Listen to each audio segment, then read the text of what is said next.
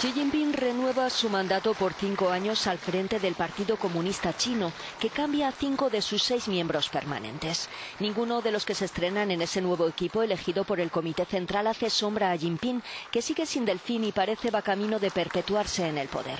Así agradecía su reelección.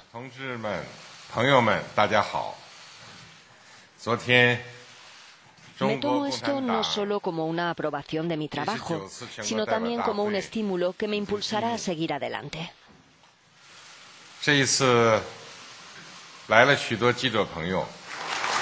Xi Jinping, de 64 años, llegó al poder a finales de 2012 y tiene asegurada su reelección como presidente de China el próximo marzo.